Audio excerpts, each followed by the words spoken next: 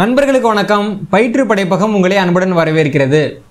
பிரம்மதேயங்கள் பற்றின இந்த தொடரில் பிரம்மதேயம் அப்படிங்கிற முறையை முதன் முதலாக தமிழகத்திற்கு அறிமுகப்படுத்தியவர்கள் களப்பிரர்கள் தான் அப்படிங்கிறத பற்றி கடந்த பகுதியில் பார்த்தோம். களப்பிரர் காலத்துக்கு பின்னாடி வந்த பல்லவர்கள் காலத்தில் இந்த பிரம்மதேயம்ங்கிற முறை எப்படி இருந்தது? சோழர் காலத்தில் இந்த பிரம்மதேயம்ங்கிற முறை எப்படி இருந்தது? சோழர்கள் தான் பிராமணர்களுக்கு மிக அதிகமாக பிரம்மதேயங்களை கொடுத்தவங்களா? இதை பற்றி எல்லாம் இந்த பகுதியில் நம்ம விரிவாக பார்க்க போகிறோம்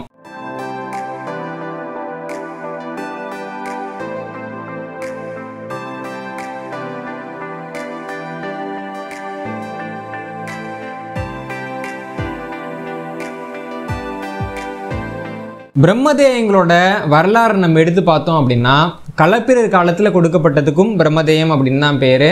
பல்லவர் காலத்தில் கொடுக்கப்பட்டதுக்கும் பிரம்மதேயம் அப்படின்னு தான் பேர். சோழர் காலத்தில் கொடுக்கப்பட்டதுக்கும் பிரம்மதேயம் அப்படின்னு பேர். நாயகர் காலத்தில் கொடுக்கப்பட்டதுக்கும் பிரம்மதேயம்னு பேர். ஆனால் மேம்போக்கா இதனுடைய பெயர்கள் ஒன்றாக இருக்கிறதுனால இதனுடைய முறைகளும் ஒரே மாதிரியாக இருந்தது அப்போ நம்ம நினைக்க முடியாது. ஏன்னா களப்பிரர் காலத்தில் கொடுக்கப்பட்ட பிரம்மதேயம் அப்படிங்கிறதும் பல்லவர் காலத்தில் கொடுக்கப்பட்ட பிரம்மதேயம்ங்கிறதும் வேற சோழர் காலத்தில் கொடுக்கப்பட்ட பிரம்மதேயம் அப்படிங்கிறது வேற நாயக்கர்கள் காலத்தில் கொடுக்கப்பட்ட பிரம்மதேயம் அப்படிங்கிறது அப்படியே வேற. அதனால் இந்த மூன்று பிரிவுகள் பற்றியும் நம்ம இப்போ விரிவாக பார்க்க போகிறோம் இப்போ களப்பிரர்கள் காலத்தில் கொடுக்கப்பட்ட பிரம்மதேயமும் பல்லவர்கள் காலத்தில் கொடுக்கப்பட்ட பிரம்மதேயமும் பார்த்தோம் அப்படின்னா ரெண்டுமே ஏறத்தாழ ஒரே மாதிரி தான் இருக்கும். அதாவது ஒரு நிலத்தை ஆரியர்களுக்கு தானமாக கொடுக்கறது அந்த நிலத்து கூடவே அந்த நிலத்தின் மீதான முழு உரிமையையும் தானமாக கொடுக்கறது. அதாவது தானமாக கொடுத்துட்டாங்க அப்படின்னா அந்த நிலத்தை விற்றுக்கலாம் வச்சுக்கலாம் அங்கே யாரை வேணாலும் வேலைக்கு அமர்த்திக்கலாம் என்ன வேணாலும் பண்ணிக்கலாம். அரசாங்கம் வந்து அந்த நிலம் சம்பந்தமாக எந்த கேள்வியும் எங்கிட்ட கேட்காது. இதுதான் களப்பிரர் காலத்திலையும் சரி பல்லவர் காலத்திலையும் சரி இருந்த பிரம்மதேய முறை அப்படிங்கிறது. இதுக்கு என்ன சான்று அப்படின்னு கேட்டிங்கன்னா பிரம்மதேயம் அப்படிங்கிற சொல் முதன் முதலாக காணப்படக்கூடிய கல்வெட்டாக இருக்கக்கூடிய களப்பிரர் கால பூலாங்குறிச்சி கல்வெட்டிலேயே பிரம்மதேயங்களை பெற்ற அந்த ஆரியர்களை பிரம்மதேய கிளார்கள் அப்படின்னு குறிப்பிடக்கூடிய ஒரு முறை இருக்குது நமக்கு வந்து நிலக்கிழார் அப்படின்னா யாருன்னு தெரியும். யார் வந்து தலைமுறை தலைமுறையாக ஒரு நிலத்து மேலே உரிமையோடு இருக்காங்களோ அவங்கள வந்து நிலக்கிழார் அப்படின்னு அழைக்கிறது வந்து சங்க காலத்துல இருந்தே தமிழக மரபு. இப்போ கோவூர் கிழார் அப்படின்னு ஒரு புலவரே வந்து சங்க காலத்தில் இருந்திருக்காரு. அந்த கோவூர் பகுதியில் இருக்கக்கூடிய நிறைய நிலத்தை கொண்டவர் அப்படிங்கிறது தான் அந்த பெயருடைய அர்த்தம். அப்படி இருக்கிறப்போ பிரம்மதேய கிழார் அப்படின்னா என்ன அர்த்தம்னா பிரம்மதேய நிலத்தை அரசிடமிருந்து வாங்கி அந்த நிலத்தின் மேலே முழு உரிமையையும் தலைமுறை தலைமுறையாக பெற்றவர் அப்படிங்கிறது தான் இந்த சொல்லினுடைய அர்த்தம். ஆக மொத்தத்தில் களப்பிரர்கள் ஆரியர்களுக்கு நிலத்தை கொடுக்குறப்பவே அந்த நிலம் மீதான முழு உரிமையையும் கொடுத்தாங்க அப்படிங்கிறது பூலாங்குறிச்சி கல்வெட்டிலிருந்தே நமக்கு தெரிய வருது. இதே மாதிரி பல்லவர் காலத்திலேயும் ஆரியர்களுக்கு நிலதானம் பண்ணுறப்போ அந்த நிலத்து கூடவே அந்த நிலம் மீதான முழு உரிமைகளும் தானம் கொடுக்கப்பட்டது.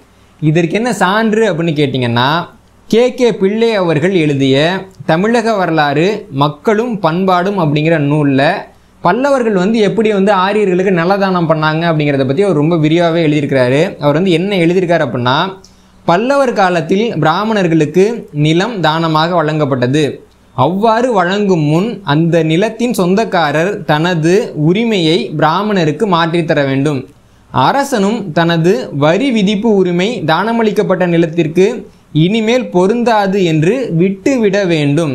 அந்த நிலத்தின் மீது காணி உரிமை அதாவது யாராவது குத்தகைக்கு வாங்கிச்சிருந்தாங்க கொஞ்சம் அந்த குத்தகை உரிமை யாருக்காவது இருந்தது அப்படின்னா அவர்கள் அந்த உரிமையை விட்டுவிட வேண்டும். பிராமணருக்கு வழங்கப்பட்ட பிரம்மதேய நிலத்தில் அரசு அதிகாரிகள் நுழையவே கூடாது. பிரம்மதேயமாக நிலம் வழங்கப்பட்ட செய்தியை அறிக்கை ஓலை எழுதி ஊர் மக்கள் தங்கள் தலை மீது வைத்து வெளியிட வேண்டும். பிரம்மதேய நிர்வாகத்தில் பிராமணர்கள் மட்டுமே இருக்க வேண்டும் அப்படின்னு குறிப்பிட்டிருக்காங்க. ஆக மொத்தத்தில் பல்லவர் காலமாக இருக்கட்டும் களப்பிரர் காலமாக இருக்கட்டும் பிரம்மதேயம் அப்படிங்கிறது நிலம் மட்டுமல்ல நிலத்தின் மீதான முழு உரிமையும் ஆரியர்களுக்கு கொடுக்கிறது. இதுதான் பிரம்மதேயம். ஆனால் இங்கே வந்து இன்னொரு செய்தியை நம்ம குறிப்பிடணும். பல்லவர்கள் ஆரியர்களுக்கு நிலங்களை தானமாக கொடுத்திருந்தாலும் கூட அந்த நிலத்தை அந்த நிலத்தோட உரிமையாளர்கிட்ட இருந்தோ குத்தகைதாரர்கிட்ட இருந்தோ பொதுமக்கள்கிட்ட இருந்தோ அவங்க பிடுங்கி கொடுத்தது கிடையாது. அதற்கு மாறாக ஒரு நிலம் தேவைப்படுது தானமாக கொடுக்கறதுக்கு அப்படின்னா அவங்க கிட்ட சொந்தமாக நிலம் இருந்தால் கொடுப்பாங்க.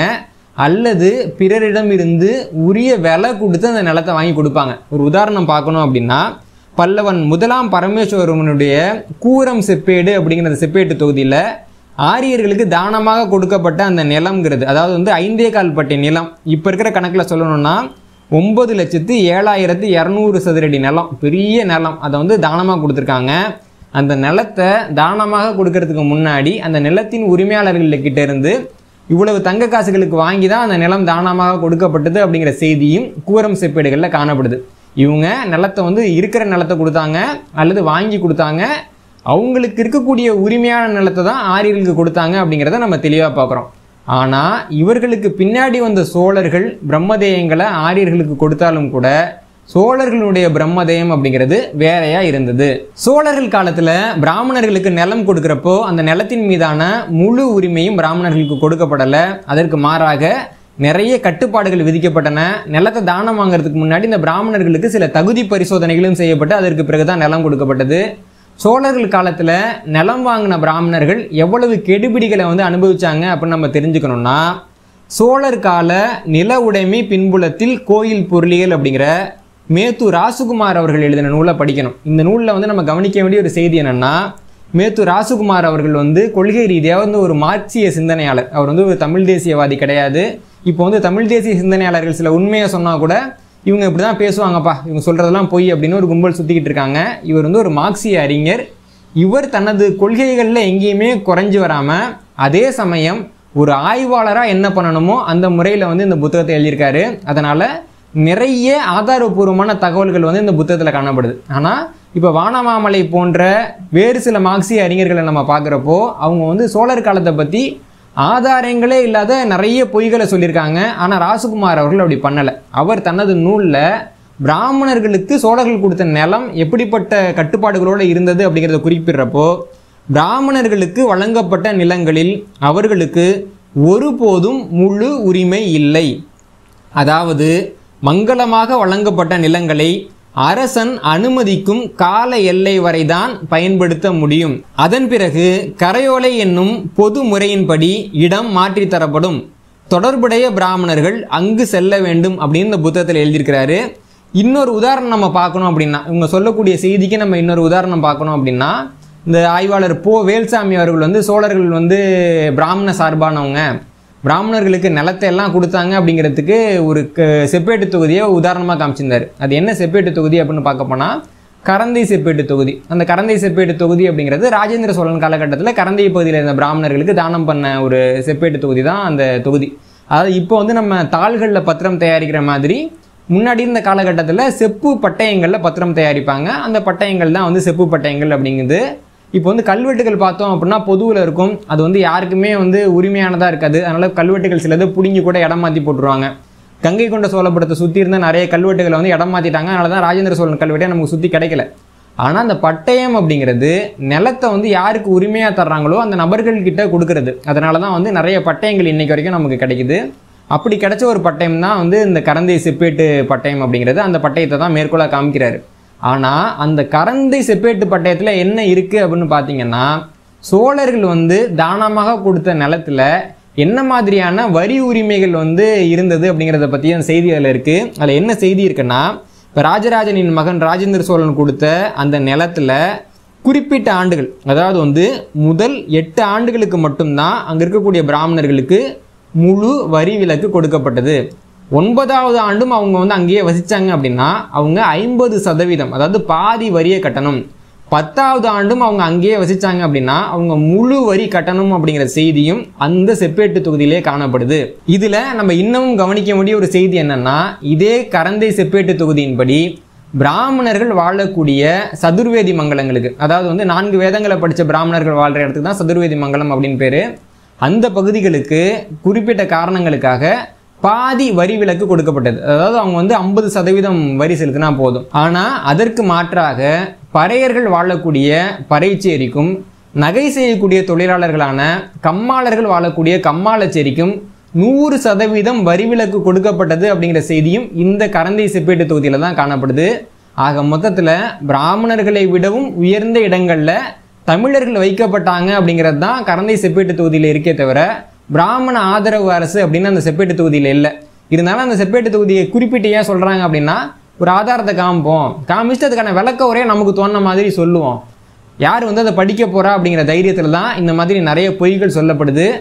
கொடுக்கப்பட்டிருக்கக்கூடிய கல்வெட்டுகளையும் பட்டயங்களையும் நம்மலாம் படிக்க ஆரம்பித்தோம் அப்படின்னாலே இந்த பொய்களில் முக்காவாசி பொய்கள் ஒழிஞ்சிடும். இந்த காணொலியில் இதுவரைக்கும் பார்த்த செய்திகள்லேருந்து நமக்கு தெரிய வரக்கூடியது என்ன அப்படின்னா களப்பிரர்கள் காலத்திலேயும் பல்லவர்கள் காலத்திலேயும் நிலத்து கூடவே நிலம் மீதான உரிமையும் கொடுக்கப்பட்டது.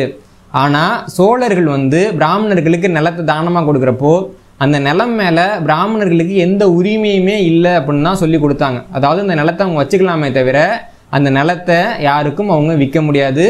அதே மாதிரி ஒரு எட்டு வருஷம் ஒன்பது வருஷத்துக்கு பிறகு அவங்க அந்த நிலத்தை விட்டு போயிடணும். அந்த நிலம் வந்து வேற யாராவது பொதுமக்களுக்கு அதாவது யார் வந்து விவசாயம் பண்ணக்கூடியவங்களாக இருக்காங்களோ அவங்களுக்கு தான் அந்த நிலம் கொடுக்கப்பட்டிருக்கு. எதுக்காக வந்து ஆரியர்களுக்கு வந்து இப்படி நிலத்தை கொடுத்தாங்க அப்படின்னு பார்க்குறப்போ இது ஆரியர்களுடைய தனிப்பட்ட மேம்பாட்டுக்காக கொடுக்கப்படலை. அதற்கு மாறாக ஒரு பகுதி மேம்பாட்டு திட்டமாக கொடுக்கப்பட்டது. இதை பற்றி நம்ம வந்து இந்த காணொலியோட அடுத்த பகுதியில் நம்ம விரிவாக பார்க்கலாம். ஆக மொத்தத்தில் இந்த நிலதானம் அப்படிங்கிறது ஒரு பகுதியின் மேம்பாட்டுக்காக கொடுக்கப்பட்டதே தவிர ஆரியர்கள் மேம்பாட்டுக்காக கொடுக்கப்பட்டதில்ல.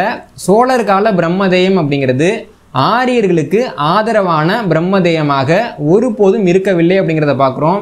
அதுபோக இந்த ஆரியர்கள் வந்து ஒரு எட்டு வருஷத்துக்கு நிலத்தை வச்சுருக்காங்க இல்லைங்களா? வரி கட்டாமல் அந்த எட்டு வருஷமும் கூட அப்படியே அவங்க வந்து ஏகபோகமாக அதை அனுபவிக்க முடியாது. ஏன்னா அதே மேத்தூர் ராசுகுமார் அவர்கள் வந்து அந்த நூலோட இன்னொரு பகுதியில் என்ன சொல்கிறாங்க அப்படின்னா பிராமணர்களுக்கு வழங்கப்பட்ட நிலங்களை மேற்பார்வை செய்வது அரச நடைமுறையாக இருந்தது. அவர்களது நில வருவாய் தணிக்கை செய்யப்பட்டது. கணக்குகளை முறையாக ஒப்படைக்கும்படி பிராமணர்கள் நிர்பந்திக்கப்பட்டனர். அதிகாரிகளும் படைத்தலைவர்களும் நிலக்கொடை வழங்கப்பட்டன. ஆனால் அவர்களது நிலங்கள் பிராமணர்களின் நிலங்களைப் போல மேற்பார்வை செய்யப்படவில்லை. முறையாக கணக்கு ஒப்படைக்காத பிராமணர்களுக்கு தண்டத்தொகை விதிக்கப்பட்டதற்கான கல்வெட்டு சான்றுகளும் உள்ளன அப்படின்னு சொல்லியிருக்காரு. ஆக மொத்தத்தில் அவங்களுக்கு வந்து ஒரு எட்டு வருஷத்துக்கு குத்தகமாக தான் நிலத்தையே கொடுக்குறாங்க. ஆனால் அந்த எட்டு வருஷமும் கூட அவங்க ஏகபோகமாகலாம் நிலத்தை அனுபவிக்க முடியாது. நீங்கள் கொடுத்த நிலத்துல எங்களுக்கு இவ்வளவு வருமானம் வந்தது. அதை நாங்கள் இதுக்கெல்லாம் செலவு பண்ணோம் அப்படின்னு அவங்க கணக்கு காமிக்கணும். அவங்க வந்து இப்படி கணக்கு காமிக்கலை அப்படின்னா உடனே அந்த நிலம் பிடுங்கப்பட்டது அப்படிங்கிறத நம்ம பார்க்குறோம். ஆக மொத்தத்தில் பிரம்மதேயம் அப்படிங்கிற முறையை முற்றிலுமாக ஒழிக்கலைனாலும் கூட பழைய பிரம்மதேய முறையை வந்து அடியோட பிடுங்கி போட்டுட்டு ஒரு உப்பு சப்பு இல்லாத பிரம்மதேய முறையை தான் சோழர்கள் வச்சுருந்தாங்க அப்படிங்கிறது நமக்கு தெரிய வருது. இதன் மூலமாக களப்பிரர் காலத்திலையும் பல்லவர் காலத்திலையும் பிராமணர்களுக்கு கிடைச்ச ஒரு சலுகையை சோழர்கள் ஒண்ணுமே இல்லாம பண்ணாங்க அப்படிங்கிறது தான் வரலாற்று உண்மை. ஆனா உண்மை இப்படி இருக்கப்போ பல்லவர் காலத்திலையும் வந்து பிராமணர்களுக்கு பிரம்மதேயம் கொடுத்தாங்க. அதே மாதிரி தான் சோழர்களும் பிரம்மதேயம் கொடுத்தாங்க. பல்லவர் பிரம்மதேயத்துக்கும் சோழர் பிரம்மதேயத்துக்கும் எந்த வேறுபாடும் இல்லை அப்படின்னா இதெல்லாம் வந்து நம்ம எப்படி புரிஞ்சுக்கிறது? அப்போ தமிழர்கள் இழிச்சவாயர்கள். என்ன சொன்னாலும் நம்பிடுவாங்க அப்படின்ற இவங்களுடைய நம்பிக்கை தான் இதெல்லாம் காமிக்குது. இது போக இந்த குற்றச்சாட்டில் கவனிக்க வேண்டிய ஒரு செய்தி என்ன அப்படின்னா இப்போ வேல்சாமி அவர்கள் வந்து இந்த பிரம்மதெய்வம் தொடர்பான குற்றச்சாட்டை சொல்கிறப்போ அதற்கு ஆதாரமாக காட்டுறது வந்து ராஜேந்திர சோழனுடைய செப்பு பட்டயத்தை தான் காமிக்கிறாரு. பொதுவாக பிரம்மதேயமாக இருக்கட்டும் அல்லது தேவதாசி முறையாக இருக்கட்டும் அல்லது சமஸ்கிருத கலப்பாக இருக்கட்டும் இந்த மாதிரி எந்த பிரச்சனை வந்துச்சுனாலும் ராஜராஜ சோழன் தான் அதை கொண்டு வந்தாருன்னு அவங்க எல்லாமே ஆரம்பிப்பாங்க. இப்போ வந்து பிரம்மதேயம் பற்றி பேசுகிறப்போ நிறைய பேர் அவங்க புத்தகத்தில் பார்த்தீங்க அப்படின்னா ராஜராஜ சோழன் பிராமணர்களுக்கு இரநூத்தம்பது பிரம்மதேயங்களை கொடுத்தார் அப்படின்னு எழுதி வச்சிருக்காங்க. ஆனால் ஒரு குற்றச்சாட்டை சொல்கிறப்போ அந்த குற்றச்சாட்டுக்கு ஒரு ஆதாரத்தையும் காமிச்சா நல்லா இருக்கும் அப்படின்னு நினைக்கிறப்போ ராஜேந்திர சோழனோட ஆதாரத்தை காமிக்கிற அதாவது ராஜேந்திர சோழன் கால கரந்தை செப்பேட்டை காமிக்கிற இவர்கள் ஏன் ராஜராஜ சோழனுடைய ஒரு செப்பேட்டையோ அல்லது ஒரு கல்வெட்டையோ காமிக்கல அப்படின்னு பார்க்க போனால் ராஜராஜ சோழன் பிராமணர்களுக்கு ஒரு கைப்பிடி நிலத்தை கொடுத்தார் அப்படின்னு சொல்லக்கூடிய ஒரு கல்வெட்டோ ஒரு பட்டயமோ தமிழ்நாட்டில் இது வரைக்கும் கிடைக்கவே இல்லை அப்படிங்கிறது தான் உண்மை. ஆனால் அதே சமயம் ராஜராஜ சோழன் நாகையில் இருக்கக்கூடிய புத்த விகாரத்துக்கு நிலம் தானம் பண்ணார் அப்படிங்கிறதுக்கு ஆனைமங்கலம் செப்பேடுகள் அப்படிங்கிற செப்பேடு தொகுதி இருக்குது ஆனால் ராஜராஜ சோழன் பிராமணர்களுக்கு தானம் பண்ணார் அப்படின்னு சொல்லணும் அப்படின்னா அதுக்கு எந்த செப்பேட்டு தொகுதியுமே இல்லை. ஒரு செப்பேடு கூட இல்லாமல் ஒரு கல்வெட்டு கூட இல்லாமல் தான் ராஜராஜ சோழன் இரநூத்தம்பது பிரம்மதேயங்களை கொடுத்தார் அப்படின்னு அவங்க சொல்லிட்டு இருக்காங்க. சரி அப்போ இந்த இரநூத்தம்பது பிரம்மதேயங்கிற கணக்கு எங்கேருந்து வந்தது அப்படின்னு பார்க்குறப்போ அந்த கணக்கையும் ராசுகுமார் அவரோட நூலில் சொல்கிறாரு என்னன்னா சோழ காலத்தில் அதாவது வந்து ராஜராஜ சோழனுடைய அந்த காலகட்டத்தில் மொத்தமாக எவ்வளவு பிரம்மதேயங்கள் நாடு முழுக்க இருந்தது அப்படின்னு ஒரு ஆய்வு பண்ணுறாங்க அப்படி ஆய்வு பண்ணுறப்போ ஒரு ஆயிரத்தி முந்நூறு ஊர்களோட பெயர்கள் கிடைக்குது. அந்த ஊர்களில் இரநூத்தி ஐம்பது ஊர்கள் வந்து பிரம்மதேயங்களாக இருக்குது அதாவது ஒட்டுமொத்த ஊர்கள் பெயர்களில் பத்தொன்பது புள்ளி இருபத்தஞ்சு சதவீதம் வந்து பிரம்மதேயங்களாக இருக்குது அப்படின்னு ஒரு கணக்கு எடுக்கப்படுது. இந்த கணக்கை பார்க்குறவங்க தான் வந்து இந்த இரநூத்தம்பது ஒட்டுமொத்த பிரம்மதேயங்கள் அப்படிங்கிறத ராஜராஜன் கொடுத்த பிரம்மதேயங்கள் அப்படின்னு திருச்சி எழுதுறாங்க. இதில் கவனிக்க வேண்டிய ஒரு செய்தி என்னென்னா இந்த இரநூத்தம்பது பிரம்மதேயங்களில் பல்லவர்கள் காலத்தில் கொடுக்கப்பட்ட பிரம்மதேயங்கள் இருக்குது களப்பிரர்கள் காலத்தில் கொடுக்கப்பட்ட பிரம்மதேயங்கள் இருக்குது இப்போ வேல்யுக்குடி பிரம்மதேயம் பற்றி நம்ம பார்த்தோம். அது பார்த்தீங்கன்னா வேல்யுக்குடின்றது சங்க காலத்தில் வந்து ஒரு சாதாரண தானமாக கொடுக்கப்பட்டது அப்படின்னு சொல்கிறாங்க இப்படி சங்க காலத்தை ஆதாரமாக காட்டி அதன் மூலமாக பெறப்பட்ட நிறைய பிரம்மதேயங்கள் இருக்குது இது எல்லாத்தையுமே கொண்டு வந்து ராஜராஜனோட கணக்கில் எழுதி தான் இவங்க எல்லாமே வந்து ஆய்வு பண்ணி அந்த முடிவுகளை வெளியிட்டு இருக்காங்க. இது மிகப்பெரிய அயோக்கியத்தனம்.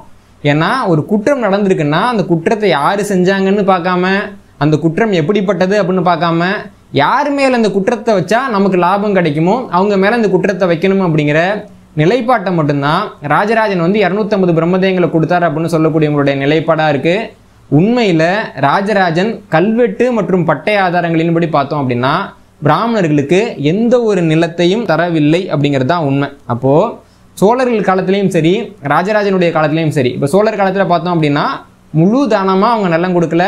ராஜராஜ சோழன் ஒரு எட்டு வருஷ உரிமையாக கூட எந்த பிராமணர்களுக்கும் நிலத்தை கொடுக்கல அப்படிங்கிறதான் பார்க்குறோம் ஆனால் இப்போ பார்த்தீங்க அப்படின்னா சோழர் காலத்துக்கு பின்னாடி வந்த காலகட்டங்களில் ஆரியர்களோட ஆதிக்கம்ங்கிறது ரொம்ப பெருகி இருந்தது. ஆங்கிலேயர்களை வந்து இங்கே வர்றப்ப பார்த்தோம் அப்படின்னா நிறைய நிலங்கள் வந்து ஆரியர்கள் தான் இருந்தது அப்படிங்கிறதையும் பார்க்குறோம் அப்போது யார் தான் ஆரியர்களுக்கு இவ்வளவு நிலங்களையும் கொடுத்தாங்க? இந்த நிலம் கொடுத்தவங்க என்ன காரணத்துக்காக கொடுத்தாங்க? இதெல்லாம் எப்படி நடந்தது அப்படின்னு பார்க்குறப்போ இவ்வளவு காலமாக பிரம்மதேயங்களை பற்றி பேசினவங்க ஏன் வந்து நாயக்கர்களை பற்றி பேசலை அப்படிங்கிற ஒரு விஷயம் நமக்கு தெரிய வருது. இப்படியாக பிராமணர்கள் பெற்ற பெரும்பான்மையான நிலங்கள் நாயக்க அரசர்களால் கொடுக்கப்பட்டது தான் எப்படியெல்லாம் நாயக்க மன்னர்களை ஏமாற்றி ஆரியர்கள் வந்து பிரம்மதேயங்களை பிடுங்கினாங்க அப்படின்னு பார்த்தோம் அப்படின்னா அதே வந்து ரொம்ப ஒரு அதிர்ச்சிக்குரிய ஒரு கதையாக இருக்கும். அதை பற்றியெல்லாம் அடுத்த பகுதியில் நம்ம விரிவாக பார்க்கலாம்.